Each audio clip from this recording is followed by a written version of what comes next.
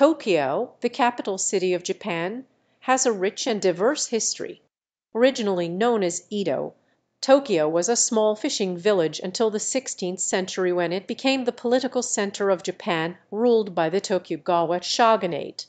During this period Yedo grew into one of the largest cities in the world, and became a centre of culture, innovation, and commerce. In 1868 the shogunate was overthrown, and Yedo was renamed Tokyo, which means Eastern Capital.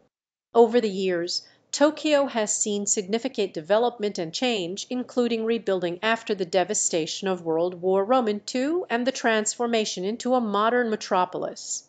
To day Tokyo is known for its cutting edge technology, fashion, food, and entertainment.